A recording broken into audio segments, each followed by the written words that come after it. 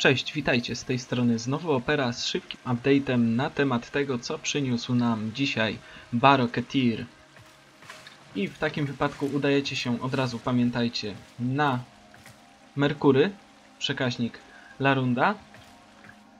Udajecie się do kiosku, gdzie możecie sprzedać wyfarmione przez siebie przedmioty, części, schematy, prime y, z pustki, wymienić je na dukaty, za które to w połączeniu z kredytami możecie zakupić rzeczy przyniesione nam przez Baroketir. W tym cyklu Baroketir ma nam do zaoferowania napierśnik, naramienniki, oczywiście cały zestaw pancerza IOS.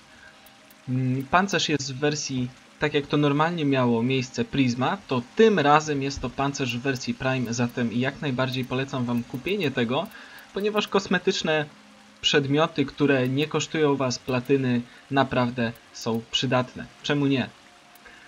Oczywiście mamy też wzmacniacze, jak to miało miejsce jakiś czas temu. Jak najbardziej możecie sobie je zakupić, jeżeli brakuje Wam czy to kredytów, surowców, czy biegłości, chcecie sobie coś wyekspić, to jak najbardziej. Mamy dostępny Gorgon Prisma, ulepszoną wersję normalnego Gorgona. W czym ona jest taka lepsza? Ano w tym na przykład, że ma zamiast 90 pocisków w magazynku, ta ma 120, ma trochę szybszy fire rate, szybkość strzału, ma trochę szybszy czas przeładowania z 4 bodajże i pół sekundy do 3 sekund oraz ma większą szansę na trafienie krytyczne o 5% i mnożnik trafienia krytycznego y, o pół punkta, z półtorej do dwóch razy więcej. Także jak najbardziej, jeżeli w ogóle podoba Wam się Gorgon mm, i chcielibyście mieć jego ulepszoną wersję, to jak najbardziej możecie go sobie zakupić, wypróbować. Oczywiście, jeżeli macie też więcej mm, dukatów, to też jak najbardziej. E, dodatkowo, co jest bardzo, bardzo ciekawe, mamy wzmocniony zasięg do broni białej, dzięki czemu możemy zwiększyć zasięg naszego ataku bronią białą oczywiście o 165%. To jest całkiem, całkiem pokaźnie. Dzięki temu będziecie mogli uderzać na, przykład wrogów przez ściany, przez drzwi, e, pozbywać się ich zanim do Was dojdą. Także jak macie trochę więcej dukatów, zakupcie ze 2, ze 3, na pewno uda Wam się to sprzedać za platynę. No i oczywiście najciekawszą rzeczą, której dawno brakowało nam w ofercie handlarza pustki, to są przedmioty, które może nie dają nam jakiejś wyjątkowej mocy, ale są bardzo przydatne. Jeżeli macie trochę więcej dukatów odłożonych i nie macie, szukacie czegoś konkretnego ze stalkera, bo ludzie oczywiście farmią też stalkerów po jakieś konkretne przedmioty, części, to w takim wypadku możecie kupić boje, które skupiają takich właśnie stalkerów.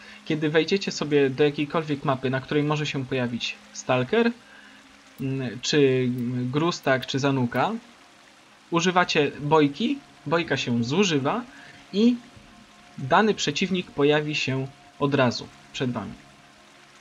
Także to jest taki wabik bardzo przydatny. Jeżeli czegoś jeszcze nie macie, bądź czegoś szukacie konkretnie z jednego z tych trzech przeciwników, to na pewno warto jest się zaopatrzyć w te przedmioty.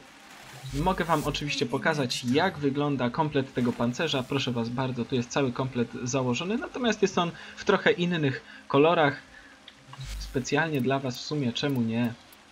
Weźmiemy sobie wyposażenie, arsenał, wygląd, dodatki i domyślne kolory. Jak widzicie, tak właśnie wygląda wersja Prime mm, całego pancerza iOS. Także jeżeli Wam się to podoba, jeżeli Wam to pasuje, to jak najbardziej zapraszam Was, zachęcam do kupienia. A póki co, był z Wami Opera, trzymajcie się ciepło i do zobaczenia w grze.